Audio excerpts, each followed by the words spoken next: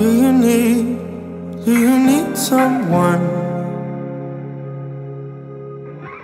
Are you scared of what's to come?